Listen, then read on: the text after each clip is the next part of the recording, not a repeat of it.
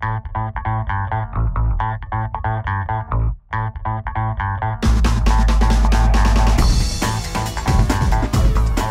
my name is Dr. Kurt Perkins. What I do is functional chiropractic and lifestyle medicine. Kind of what my passion is is helping people create a thing I like to call more health and less health care. But kind of what makes my heart sing at the end of the day is helping good people out of bad situations. And this thyroid epidemic that we're having is one of those bad situations. But I don't really know if it's such a thyroid problem. Because um, if you look at it, you probably all know someone that has a thyroid condition or has been on some sort of thyroid medication or they've been told their thyroid's malfunctioning, all that scenario. When everyone has something, that's kind of like a red flag in the back of my head of that's probably not the true cause of something, but an effect of a bunch of other things. And so we're going to talk about today is it really my thyroid? And we'll talk a little bit about thyroid, but we're also going to talk about the other things that could be causing a thyroid to malfunction. Now, the thyroid's what we like to call the canary in the coal mine. It's a very sensitive organ to everything that happens in the body, um, specifically because the hormones from the thyroid talk to the DNA directly. And so when you're talking to the DNA directly, that could affect something else in the body. That could affect toenail growth. It could affect memory. It could affect heart function. It could affect metabolism. And so the thyroid has a lot of play into everything else that's going to happen to you from a health standpoint. Now we have our disclaimer. This is for informational educational purposes. Hopefully it's a little entertaining as well. Um, but if you have specific questions, I'll give you an opportunity to do that at the end, or you can set up a phone call with me and all this, or the canned answer is consult with your doctor or other healthcare professional. But I put a caveat to that because most of your doctors and healthcare professionals aren't going to have a clue what I'm talking about today. And so I'm going to give a lot different perspective. Um, and so you can talk to me instead. I'm one of those healthcare professionals and doctors. So, fun facts about the thyroid. What do you think the thyroid does? What kind of functions?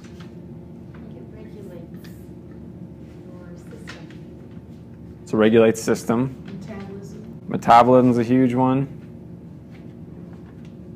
Hormone balance. Part of your hormones. Energy. Energy. Mood. Mood.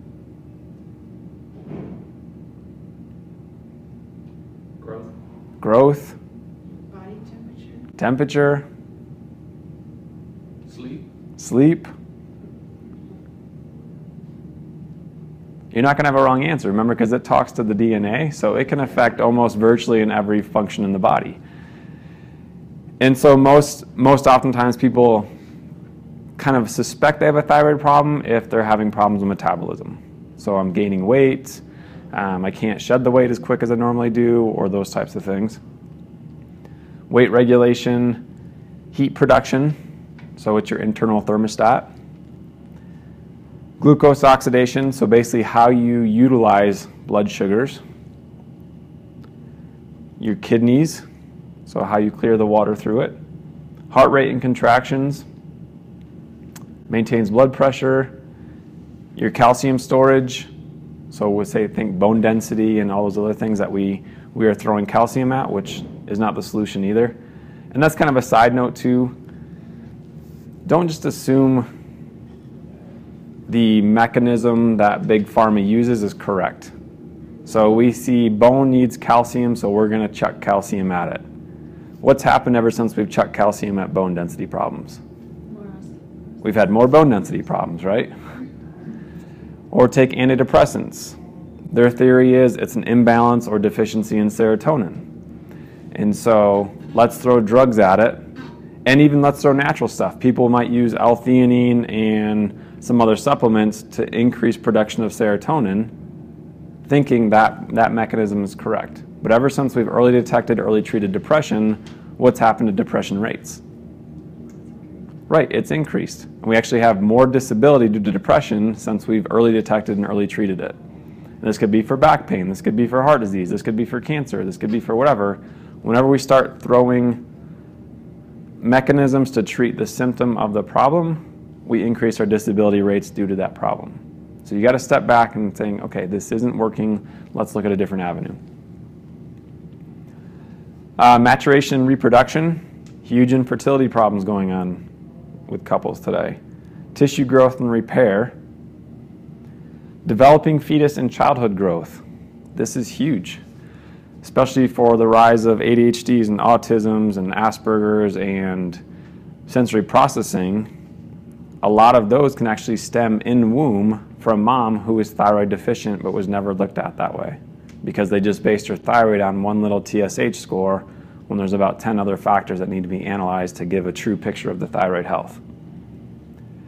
Developing skeletal and nervous systems. I used to have a professor say skeletal, and we're like, what the heck is this guy saying? But he was Canadian. Uh, GI motility. So, what we have with all those things is we have 59 million Americans suffering from thyroid conditions. 1 million will die this year of heart disease. So, 59 million astronomically towers with, with heart disease rates. Hypo is the most common, so an underperforming thyroid. And 90% of thyroid conditions are Hashimoto's. Do you guys know what Hashimoto's is? It's an autoimmune reaction. So your thyroid's being attacked by your immune system, which causes that to malfunction. I can't tell you how many people that have come to me with thyroid problems and like I can't figure it out. They've been on Synthroid for 20 years, but nobody ever ran a test to see if there's an autoimmune condition going on. And then we run that test and their, their antibodies just skyrocket off. Like you've had an autoimmune condition for all these years. And the problem with that is when one, auto, one autoimmune condition starts, it often sets the stage for other autoimmune conditions. So when there's one, there's oftentimes multiple others. And at least in my practice, thyroid meds are usually the top three, three that I see most often. So antidepressants, thyroid meds, and cholesterol meds are usually what I see those top three. But always comes back to why. why is there so many of these thyroid problems? Are we de-evolving? Is this the whole survival or survival of the fittest from Darwin that we're all just a bunch of are we going to be the extinct population pretty soon? Is, is basically what I'm asking. No, I don't think so either. So you got to look at other aspects of it. Why would you guys think there's a big thyroid epidemic in our country? Poor nutrition. Iodine in the food. Yep. Not getting enough iodine. Yep. So you guys said so poor nutrition. Iodine is one of those components of the nutrition. Anything else? What's that? Too many pharmaceutical drugs. Too many drugs? Yeah, that can interfere with how your thyroid performs. Stress. Stress is a huge one. I was going to say dehydration because people are drinking everything but water. Yeah, dehydration, so another nutritional deficiency. I think our food these days, there's something, we've added things to the food. People have processed food, and that's kind of mess with our bodies. Right. So we're eating more Franken food opposed to whatever. For me, it starts to come back to the nervous system. And why is the nervous system so important with thyroid or with any any aspect of your body? Is how things travel? Signals travel? Yeah, it's how signals travel. But your nervous system is what's going to organize and coordinate life. So if someone just busted through that door with a machete flipping back and forth, your nervous system is going to react one way and you're going to react one way. You're going to go into flight or flight mode. Or if someone busted through that door and said, You guys all won the Powerball together, we're going to have a different reaction to that. So we're going to organize and coordinate those two different experiences in a manner that's going to keep us surviving another day. And how it's going to organize is you're going to be organized either into protection, so there's the machete bear attack, or it's going to be um, organized into growth growth mode, which is Powerball or roses or however something happy in your event. For most people, where do you think they reside? Protection mode or growth mode? Protection. So what's going to happen during that protection mode? let's say they unleash tigers and lions through that, that door, your brain and spinal cord are on alert. What's the first organ it's going to hit? Adrenal. Adrenal, exactly. And why would that be important? Just need to kick it in gear quick. Because what, does it, what do the adrenals do? What hormones do they release? Adrenaline, yeah. And what's that going to do to your heart rate? Go up. What's going to happen to your blood pressure? It's going to go up. What's going to happen to your respiratory rate, your breathing? Yeah, shallow, faster. What's going to happen to cholesterol? Goes up. But why? Because you might, you might bleed your, your potential danger, your blood maybe to clot. Yeah, cholesterol is basically the super glue that holds you together. So there's a potential of injury with lions and tigers being released into the room. So just in case, the liver says, let me spurt out some cholesterol to make sure there's enough patchwork after the event is done, after they tranquilize them and get them out of the room. What about blood clotting factors? Up or down? Up. So we have increase in blood pressure, increase in heart rate, increase in cholesterol, increased respiratory rate, and increase in clot, clot factors. What does that sound like if you went to the emergency room? Heart attack. Yeah, in the middle of a heart attack. But did those factors just save your life or did they just save your life? So increase in blood pressure and heart rate, all those things aren't bad, they're appropriate. Short term, very appropriate. It's when they happen long term that now that becomes life threatening. So your body never does stupid stuff. It's going to organize and coordinate in a response that's going to keep you living till the next day. The problem is we're always going to err on the side of caution. We're going to favor protection, and we can't be in protection and growth at the same time. What else is going to happen? So we have our cardiac output skyrocketing. What do you think? The, the, or sorry, let me backtrack. Adrenals release another hormone called cortisol. What does that one do?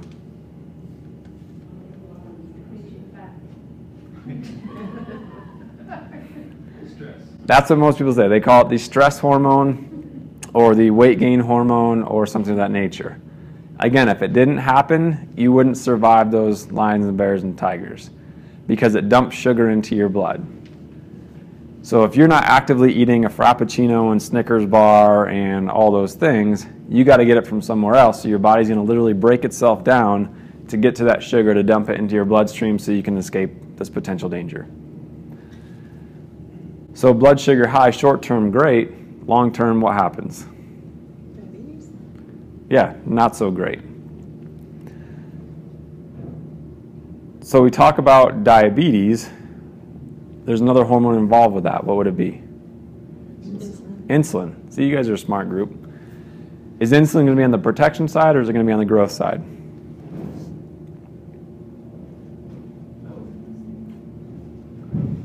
Yeah, more growth. So if we're on the protection side, we have cortisol saying, I'm going to dump sugar into the bloodstream. On the growth side, saying, hey, that's dangerous. I'm going to release insulin to store sugar for potentially later. Which one do you think your nervous system is going to listen to more? Protection. Yeah, protection. It'll listen to cortisol, so it'll favor the sugar. Therefore, your cells will stop listening to insulin, you become insulin resistant. So we have high blood sugar, insulin resistance. There's your setup for diabetes, setup for obesity. But more importantly, and I'll get to it later, insulin has far larger roles in hormone conversion and nutrient absorption and all those other things that are going to help you keep living opposed to just surviving. So we have cardiac, we have um, blood sugar problems. What's going to happen to your immune system? Are you worried about catching a cold if lions and bears and tigers come flying through the door? No. So your immune system starts to depress. We're coming up on flu season. Is it really a magic bug, or are we in a season of decreased immunity? Right. because we go from Halloween to Thanksgiving to Christmas to New Year's to Valentine's Day to St. Patty's Day to Easter to Mardi Gras. What do all those have in common? Right, a high sugar content. And sugar biochemically looks very similar to vitamin C. So they're going to compete for each other to get into your cells. So instead of just taking uber amounts of vitamin C, worry about catching that sugar load instead. The candy's the obvious one, but the wheat products that raises your blood sugar more than a Snickers bar and M&Ms combined. So that's going to be the other sugar load that we're not so we don't look at as a bowl of sugar, um, but and your body responds the same way. So immune system goes down, so that makes us more susceptible to, say, the flu. But what about cancer? Cancer is an immune system problem. Autoimmunity is an immune system problem. And so you can kind of see the, the level of, of stuff going on here. Remember, you, if you take away one thing today, you can't be in growth and protection at the same time. Your body's always going to choose, and it's always going to err on the side of caution just in case. Question? So, just to backtrack a little bit, so what are you saying is pushing us into the protection mode? We'll get to that. Yeah, yeah. um, we're going to define stress. So, stress is going to push us that way, but I'm going to broaden your scope of what stress is. So, on this growth mode, that's where your immune system is going to be mostly. That's where thyroid's going to be.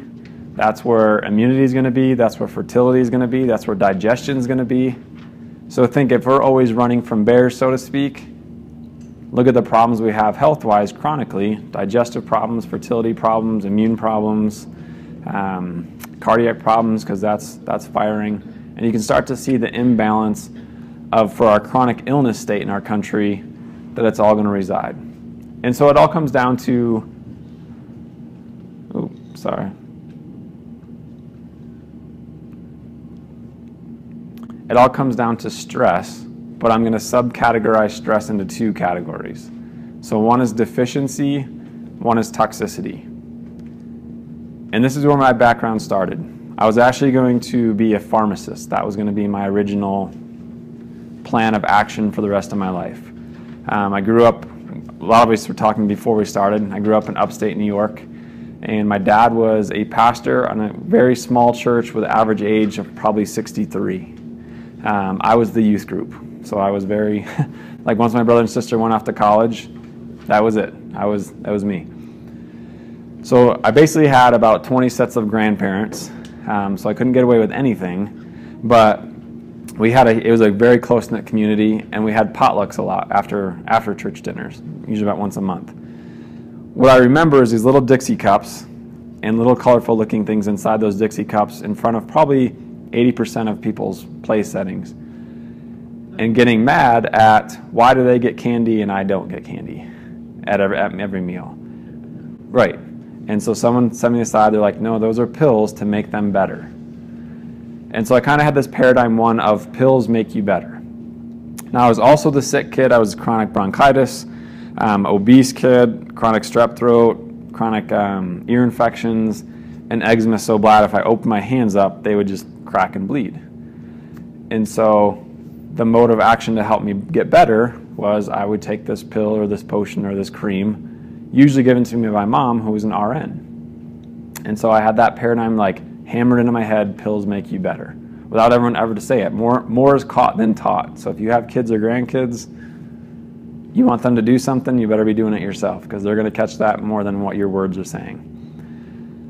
So as I aged throughout high school into that church, I noticed those Dixie cups were getting fuller and fuller, and there was more prayer requests for different procedures and health complaints and all this. So I'm like, all right, I got to go fast. I got to get to college and get on this right track because maybe they're not getting the right pills.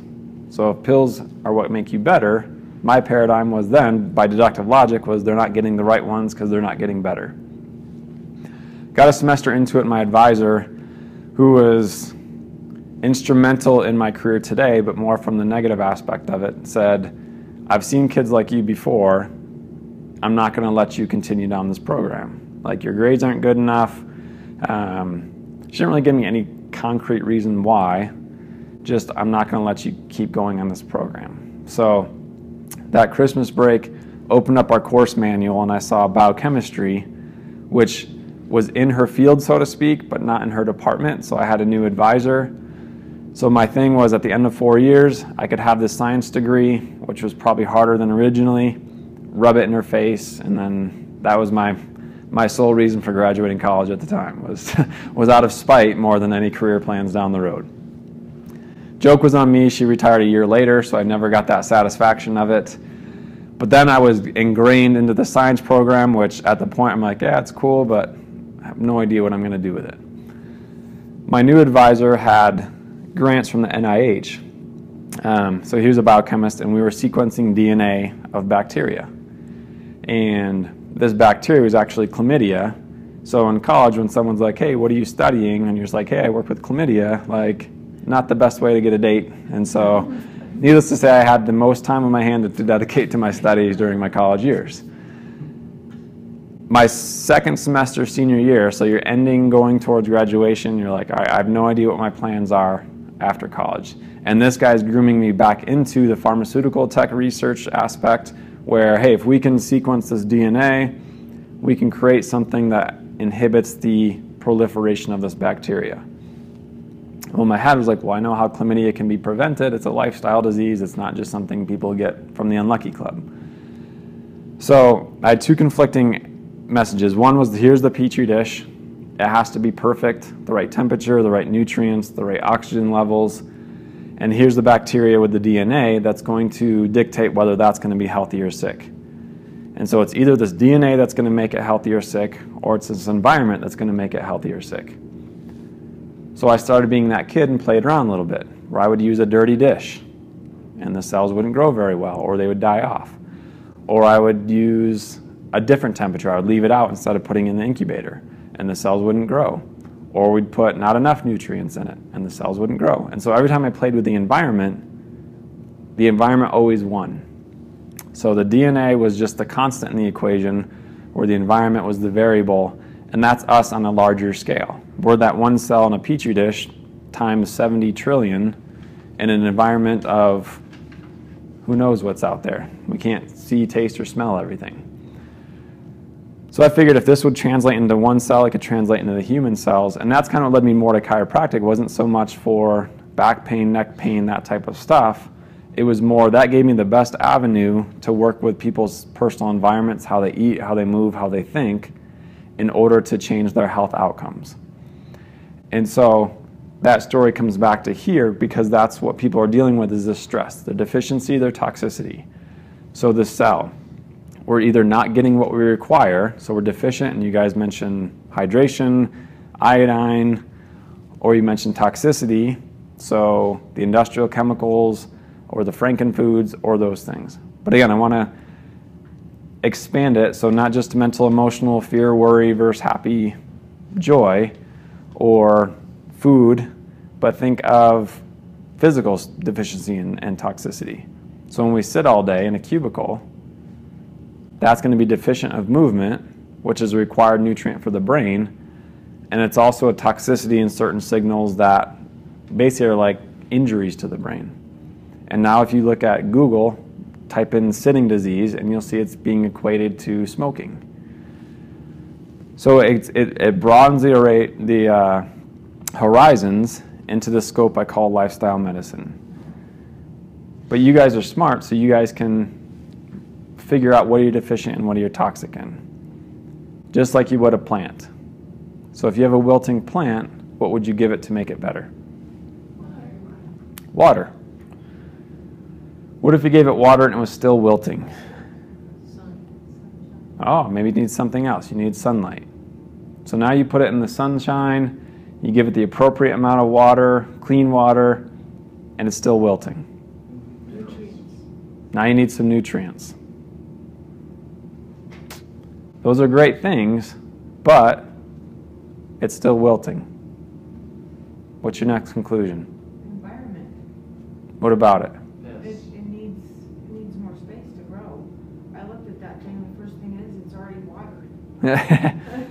it needs a different place to grow. There's no place for it to grow. It's in a confined spot. Okay. That's my take on it. I may be wrong, but that's. No, that's good. So that's something else it requires. It needs more space. Pests. Could be root rot. Yeah. So you guys are smarter than me when it comes to horticulture here. I was making it more simple. So, so you've given it everything it requires, but then you just have to start asking questions of what doesn't it require. And maybe your neighbor at night is spraying diesel fuel into the soil when you're when you're sleeping. So you got to address deficiency and address toxicity. And this is where it has to happen to you guys. This is why I say more health, less healthcare, because what they do in healthcare is they try to quantify these things, and they do it by doing studies. And it always seems good that there's a study for something, but it's how that study gets interpreted. So let's say these researchers like we're going to end wilt, plant wilting worldwide, but we got to study what it what it needs. So we're going to take 100 plants, 50 of them give them real water, 50 of them give them fake water, at the end of our study, they're all wilting. Now you guys already said they need to add something, but what would they conclude? They would conclude that water is no good for wilting plants and that anyone that gives water to wilting plants isn't practicing evidence based science. And then you'll see these headlines in the news water, dangerous for plants, and it'll get escalated and escalated and escalated. You guys are already smarter, so you said it needs sunlight. So you lobby to the researchers and be like, you need to study this other intervention in conjunction with it because it's not just a singular requirement that it needs. So now you need four groups. So we have 100 plants, a quarter of them get real water and real sunlight, a quarter get real water, fake sunlight, a quarter get fake water, and real sunlight. I think I said that right, and the quarter gets fake and fake. It's still wilting at the end of that study. What's their conclusion now? Sun and water are bad deal. What's that? Sun and water. Yeah, now sun and water are no good for wilting plants. Would you say they got better or not based on you gave them water, you gave them sunlight that they require? Did that make them better or not? Depends how you define better, right? So this is where like the interpretation of research starts coming in, in, into play. I would say they got better because you gave them something they required. They would say they didn't get better because they're still wilting. What if I gave them water, sunlight, they're still wilting, but then I painted the leaves green and like stacked them up so they're nice and, and, and stable? Would that be better because it looks better? No, so you can't base it on the symptom alone. But that's what a lot of research does is here's the, the symptom of it. Did the symptom get better? Did the symptom get worse? And we're going to base our outcomes on that. They do this with cholesterol drugs. Does cholesterol come down? Yes, therefore it's successful. What they didn't ask was, did lowering cholesterol save lives? And they can't ever answer that without saying no. Because um, the more we've lowered cholesterol, the more heart disease has gone up and deaths from heart disease. So you're like, you guys are idiots. You got to add nutrients into it. So now we have nine groups from real, real, real, all the way down to fake, fake, fake. And the plant is still wilting. You guys gave exactly what it requires. In my book, it's better. In their book, not better. And that's where you have to start looking at the, the toxicity aspect of it. And so, with thyroid coming back through thyroid, this is the part that's kind of the hard part because there's a lot of things that you can't see, taste, smell, hear, any of those things that are going to be detrimental to the thyroid. And so, one of those chemicals is called phenols.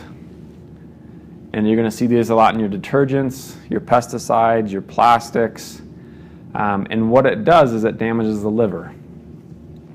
Why would the liver be important to the thyroid? Good, you're going to learn something then. Okay, you guys are smarter than I am. it converts. So you have, if you guys are familiar with lab work, you usually get a, a test called TSH, thyroid stimulating hormone. That's actually a pituitary hormone, not even a thyroid hormone. So the pituitary talks to thyroid with TSH. The thyroid primarily gives out an inactive hormone called T4. T4 has to go through the liver to be converted to T3, and now T3 is the active form of thyroid, which then can go to the DNA and do its business there, or it can cycle back up to the brain and say, hey, we need more or less, and kind of regulate that way. So these phenols, one, can damage the liver, but then two, lower T4 conversion. So look for those. And a lot of products, especially here, they'll boast no phenols. Or if you look at the ingredients, usually that phenol is at the end of something like polyphenol or XYZ. Flame retardants. These are things you probably can't get away from because there's so many regulations around it. So mattresses, buildings, airplanes, and clothes. So if you travel a lot, this might be a big, big component to people. If you're in and out of hotels, you're in different airports, you're in different airplanes. Um, and if also if you're, if, especially with, if you're buying clothes for newborn babies, you're going to see this a lot. We had some friends in a study. I don't know if you guys are familiar with the Environmental Working Group, but they did a study with, I think it was, I think it was flame retardants. Um, so they tested mom's level and baby's level, and baby's levels were drastically higher because of all the newer clothing and the carpet. They're more on those surfaces and all those types of things. So it's just kind of one of those eye-opening that our kids are being exposed to this way more than than we are at an earlier age, which kind of is accumulating effects. Parabens, you'll see this a lot with sunscreens. Um, cosmetics, so for you ladies, maybe gentlemen, if you wear cosmetics, I don't know. Food preservatives, but this actually destroys the thyroid tissue, so this is a kind of a direct attack against it. Phthalates, so more plastics, more cosmetics. So another knock against makeup for you ladies. Go natural. Pesticides and herbicides. This is why I love natural grocers because all their produce is organic. You don't have to look at the numbers. Is there a nine in front of it or is it just the regular number? It's easy, just pick it off the shelf. So decreases T4 production and goiter forming. And halides, this is where you're going to find in your tap water. So avoid tap water like the plague. So your chlorine, fluoride, bromide, because these all compete with iodine. So the more these other halides are in there, so we talk about iodine deficiency. One, it could be yes, we don't have enough iodine in the food, but also we're consuming a lot of other things that are, can compete with that iodine.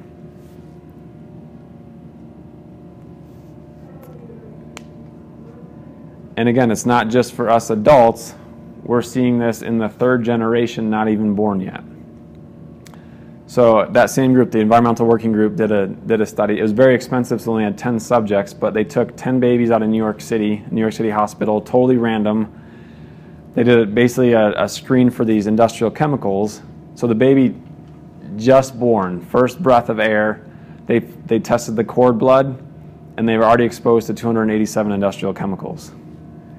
So coming from mom, potentially coming from grandma, because let's say grandma's a smoker she's developing mom. Well, mom's developing the germs for that next next generation.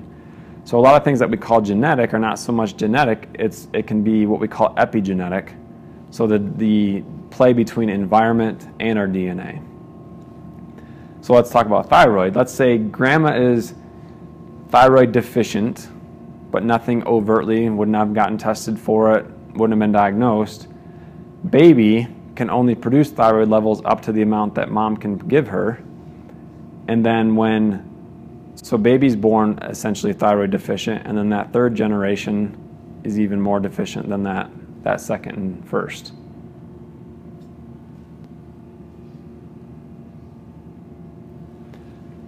So when I assess, is it really my thyroid, I'm actually assessing five different things. So yes, we assess the thyroid, but it's in context. And so the first part is that autonomic imbalance. So that's the protection mode versus the growth mode. If someone is in the protection mode, thyroid's a growth hormone. So guess what's going to compete with thyroid? Your nervous system. And so we have to have balance that out. And that could be mental and emotional problems that maybe I'm not equipped to handle. It could be lifestyle problems, which I'm very equipped to handle through nutrition, fitness, XYZ, supplementation, food, all those types of things. But that's where it's got to start. If someone's, like I had a lady with, with hypothyroid, her company was literally killing her, and she was the owner of the company. so we, we developed strategies to either you hire someone to take over this role or you sell your company and, and get away from it. And so she hired on somebody and huge, huge difference because it took that stress off of her that was shifting her into protection mode, even though her diet was great, even though her, her fitness regime was great, even though everything else lifestyle was pretty on par. It was that component that didn't she didn't realize how much was actually affecting her outcomes. You have to assess the adrenal function. So remember, adrenal spit out cortisol. That dumps sugar into the blood. Insulin has a response, which we'll get to it. But cortisol actually directly competes with T4. So remember, T4 is released by the thyroid. It could also compete with TSH. So you may have dysfunctional TSH and T4 scores because you have cortisol out of control. So if you're getting tested for thyroid, you have to get tested for adrenals in the same, same manner because they play a picture with each other. Insulin resistance. So we talked about, again, sugar being dumped, insulin gets released. If you're in protection mode, you're not going to listen to insulin, and so therefore insulin resistance. The first place to become insulin resistant is the liver. So remember, what do those hormones, thyroid hormones, have to convert through? They have to convert through the liver. So if the liver is not accepting insulin and hormones, then you may have more of a conversion problem than an actual thyroid problem. So just to keep throwing TSH at the problem, or even uber amounts of iodine, may not be the actual reason why, why the thyroid's malfunctioning. Inflammation. For one, inflammation will directly attack the thyroid. One of the biggest sources of inflammation is actually our midsection. It'll release these hormones. So our fat tissue releases a hormone or a, a signal called a cytokine. That triggers the liver to produce CRP. And if you guys have ever had a cardiac test, usually they test CRP. But CRP is an inflammatory marker, and that basically recruits other inflammatory markers. And so most people think, hey, I'm gaining weight because my thyroid's deficient, when it actually could be the other way around you could have some insulin resistance packing on some excess weight, and now the inflammatory signals from the excess weight is now damaging the thyroid. So there's another cycle. So a lot of people got stuck with their weight loss or thyroid problems because they haven't addressed the inflammation component of it. And then the final component you have to address is the, is the immune system side. So we said thyroid is 90% autoimmune, this is where this comes into play. So for simplicity, and the immune system is not simple by any means, um, they keep discovering more and more stuff, but essentially there's two branches to it. One side is the inflammation branch, and the other side is the antibody side. So when you have a coffee, runny nose, fever, diarrhea, upset stomach, that's going to be that inflammatory side. That's for you to get rid of the bug, get rid of the virus. You sneeze, at 35 miles an hour and expel that thing 30 feet to get it out of you. Or if you're hanging out on porcelain Johnny, it's going out the other end. That's a good thing to get rid of that stuff. When we're in bear attack, that side starts to come down. Because let's say we're running around from the bears, you jump over a chair to get away, and you crank your ankle. You're like, this is it. I'm, I'm the meal for these bears. You get up, you look down, and you're like, hey, it's not that bad. I can put some weight on it, and I can keep running around in circles until, until someone tranquilizes them. Once the event is done, the animals are gone. Now you look down and you have this muffin top ankle hanging over your shoe because now all the inflammation is back. So inflammation will be shut down short term to make sure you can survive the next day. The problem is when that happens long term, now the antibody side has to overwork to kind of trigger the other side.